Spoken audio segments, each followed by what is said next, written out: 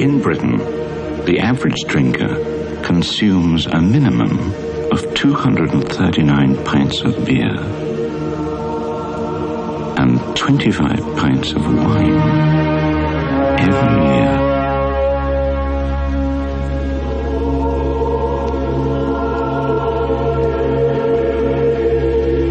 Is it any wonder that alcohol-related deaths have killed more people in the last decade than the gun in World War II?